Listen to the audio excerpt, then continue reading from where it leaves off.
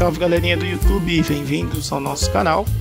Hoje a gente vai estar trabalhando com planos de fundo, está fazendo animação, movimento, testando transparência, tudo mais. Então eu vou criar um documento aqui, uma pasta na área de trabalho, chamar aqui de background, para a gente fazer um teste. Vamos abrir aqui o Backs Assim, eu vou criar uma pastinha para a gente pôr os binários. São muitos arquivos para não ficar bagunçado.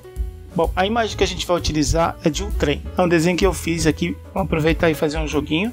Beleza, essa aqui é a imagem. A gente tem essa cor magenta que vamos utilizar ela como transparência. A gente passa ela no Imagenes. Ela é de 512 por 2,4. O tamanho padrão aí para a gente poder fazer paralaxe, movimento, etc Então aqui os arquivos, o mapa, a paleta e o número de tiles. Joia. Eu vou colocar aqui as variáveis padrões aí de offset, que é a memória e a screen. Já vamos chamar a label aqui, depois a gente faz ela. Draw train. Criar um laço para manter o programa aberto. Colocar um delayzinho. Nosso padrão, né? Beleza, agora eu vou criar a nossa label para desenhar o trem. Mas primeiro eu vou pegar o endereço de todos os nossos arquivos. Paleta trem, data file, está na pastinha bin, né? bin barra nome do nosso arquivo. trem do bin, vírgula bin. Fazer o mesmo aqui para os tiles. Tile train na mesma pasta thetrain.bin e o mesmo aqui para o nosso mapa. mtrain.bin,b joinha. Aqui é o padrão. Vamos colocar aqui a nossa memória. A memória dele é o número de tiles. mtrain 237 a gente pega esse valor lá no Imagenesis pegar a paleta das cores, PLT Trem 00 16 cores. Vamos pegar o endereço dos nossos tiles, tile train, a memória, a nossa memória padrão ali. Joia, joia. Vamos fazer a leitura com reload, mapinha do trem, fazer dois laços for de 29 por 63 usar o Radiant para capturar esses valores e desenhar eles com Draw Tile, como a gente faz de costume.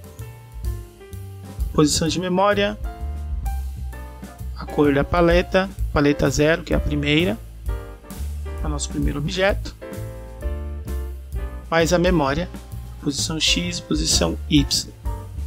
Aqui eu finalizo o nosso Next. E é isso aí, vamos testar para ver. Joia, joia, simples, simples aí. Nosso plano de fundo é uma parte do nosso cenário. A gente vai poder estar tá passeando por dentro desse trem, né? Joinha. Como a gente vai fazer isso? O Draw Train ele está chamando a função, está carregando né, os sprites e está carimbando ele na memória gráfica. Então o desenho está lá parado. Para a gente poder movimentar, a gente tem que estar tá atualizando isso. Então eu vou criar uma função de controle para a gente poder estar tá mexendo, movimentando o trem, né, ou movimentando o personagem. Aqui é padrão, joy, recebe o que vem do controle. Se for 3, eu vou criar uma variável para a gente estar tá empurrando o nosso cenário. vou chamar aqui de trem underline x, tr underline x, começando com 0. Então, esse valor vai estar aumentando toda vez que eu pôr para a esquerda. É o contrário. Caso não, se eu estiver pressionando o número 2, ele vai estar diminuindo toda vez que eu pôr para a direita. TRX menos menos. Beleza? Só isso não basta. Agora a gente tem que passar esses valores para a posição do nosso mapa. Que é muito fácil, né? O Bex ele facilita bastante. Eu vou criar uma função para fazer isso, para deixar mais bonitinho.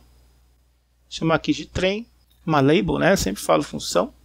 E aqui vai ser o seguinte: antes de começar, toda vez que eu chamar essa label, eu vou estar tá trocando o plano de scroll para o nosso plano A. A gente tem o A, tem o B e a gente tem também o window, que é a janela de fundo. Essa aí não pode mexer, essa daí não funciona. É estática. Beleza? Utilizando o A, porque é a primeira imagem. A primeira que a gente fez é o trem. Vamos utilizar o scroll 2 para a gente poder posicionar de acordo com o valor de uma variável. A gente coloca aqui para que lado que quer, no caso aqui é left. E eu vou utilizar a variável do trem x, o valor que vier nela, vai fazer com que o cenário se mova. Nada mais simples, né? Muito fácil. Beleza? Estamos atualizando aqui e vamos testar para ver.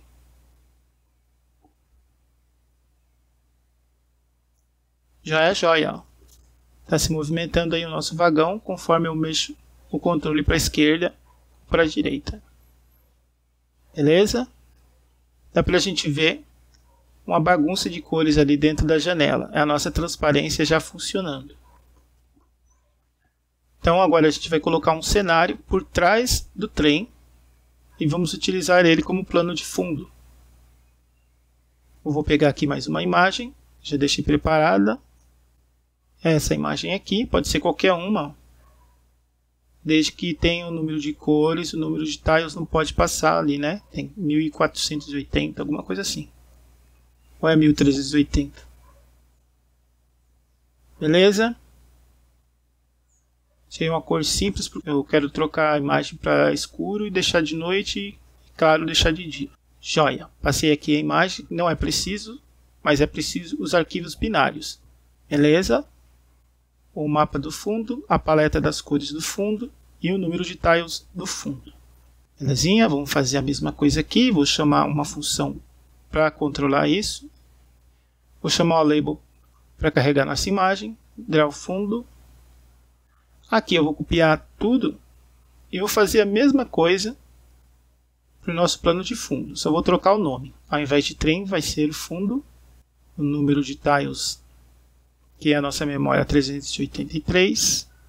E aqui eu vou ter que estar tá passando o GFX para ela também. Belezinha? Set GFX Plane a scroll B. É a nossa segunda imagem. A gente só tem três planos de fundo. A, B e a Window. É o suficiente, dá para fazer jogos maravilhosos aí, que nem o Final Fight. A nossa paleta das cores agora é a número 1. É a segunda, eu posso colocar 2, 3, no máximo 3. Né? São quatro paletas, de 0 a 3, com 15 cores cada uma. Vou trocar aqui o resto dos nomes. Tile fundo, memória fundo, a paleta fundo, memória fundo também. E aqui eu vou estar adicionando a memória do trem. O trem veio primeiro. Ok? Vai ler o mapa de fundo. Vou adicionar aqui também, na hora de fazer a leitura, a memória do trem. Joia, joia. Vamos fazer o mesmo para os endereços. Deixei tudo como padrão, é só trocar o nome. Paleta, tile e o mapa. Nada mais fácil, né? Joia, joia. Bom, vamos criar uma função para controlar isso também, porque o GFX inicialmente está no trem. E eu tenho que passar o GFX para o outro plano de fundo para poder mexer ele também. Então eu tenho que estar tá chamando isso alternadamente. Go sub fundo, o trem é o primeiro, fundo depois, e aqui eu vou criar label. E já vou deixar o scroll plane com o B. Belezinha? Vai ficar alternando entre o B e o A. Embaixo eu vou dar movimento com o scroll. Ele vai para a esquerda. Na velocidade número 1. E é isso. Belezinha? Vamos testar para a gente ver. Joia, joia. Ó. Plano de fundo se movimentando ali. Mas o nosso plano de fundo ele termina aqui, né? Ele começa mais para cima. Eu preciso descer ele. Para fazer isso é bem fácil. Eu venho aqui dentro da nossa label que controla o fundo, vou colocar um outro scroll, dessa vez o up. Vou fixar o valor em menos 70 Para fazer isso eu tenho que usar scroll 2. A de cima é rolagem, né? A de baixo é para posicionar. E simples, simples. Ele vai subir o nosso plano de fundo e vai alinhar do jeito que a gente quiser. Beleza? Para ver as montanhas, as árvores. Joia, joia. Esse daqui também é usado no trenzinho do Final Fight, né?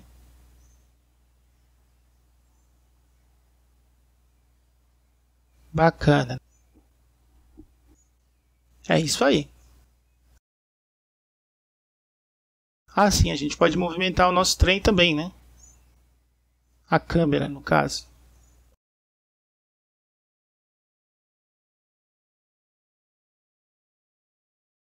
Só que quando eu movimento, as velocidades são de 1, elas se igualam e dá a impressão de que o cenário parou.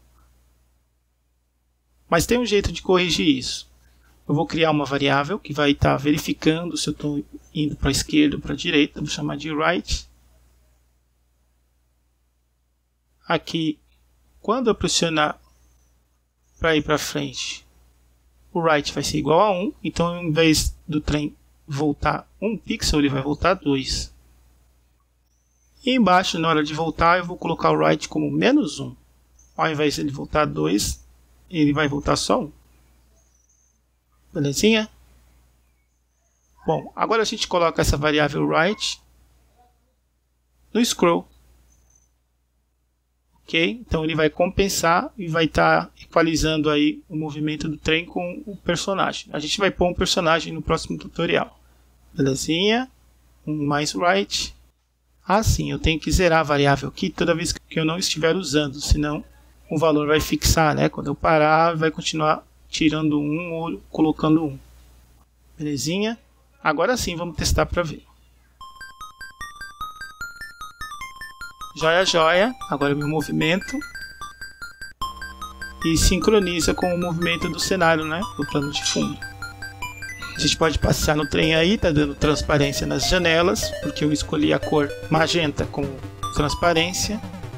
E joia, joia. Fizemos uma animação, plano de fundo, de uma forma bem fácil. Mais fácil que isso não existe, né? Bacaninha. Resumindo aqui, depois das variáveis a gente chama as imagens, carimba elas na memória gráfica. A gente tem três memórias, né? Que é o plano de fundo, o scroll A e o scroll B. Utiliza o controle para movimentar, chama as mesmas labels para poder estar tá atualizando. Tem que estar tá tudo na ordem, primeiro, segundo, terceiro. E aqui aplica o GFX na vez de cada uma. Simples. É isso aí. Espero que o pessoal tenha gostado. Com certeza deu para entender. E até a próxima aí, galera. Continue aí com a gente no nosso canal. Assim, o pessoal tiver sugestões de outros projetos, é só colocar aí nos comentários. Comente aí o que vocês acharam desse método. Valeu!